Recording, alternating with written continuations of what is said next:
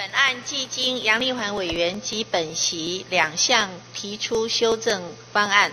感谢大院得以支持，让这项修法可以完成。罕见疾病防治及药物法第六条以及第三十三条的修正通过，将让台湾罕见疾病的防治更往前迈进一步。一方面强化了政府投入罕见疾病防治的积极性，也稳定与扩展了罕见疾病防治的基本的财源。罕见疾病防治及药物法是民国八十九年正式立法施行。到今年刚好是第十年，十年来每一年三千万元的经费从来没有增加过，而这三千万元的经费，光是用来提供罕见疾病患者特殊营养品就两千多万元。换句话说，对于罕见疾病的防治经费何在，几乎百分之百付诸缺如。这次的修法，为了促使政府能够直接而积极的投入罕见疾病的防治与研究，所以修正了第六条。第六条的条文规定，由中央主管机关应该直接投入办理罕见疾病的防治跟研究。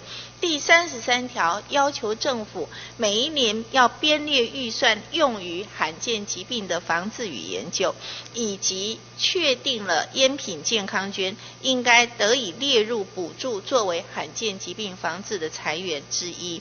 由于罕见疾病的患者个案往往非常的少，对于民间的药物企业来讲，他们没有诱因，因为没有利润，所以罕见疾病的研究、药物的研发几乎成为孤儿用药。今天的修法，让台湾变成一个不会让罕见疾病患者成为孤儿，让罕见疾病的用药不再变成孤儿用药，由政府应该要积极的投入防治与研究。这项修法也是一个划时代的进步。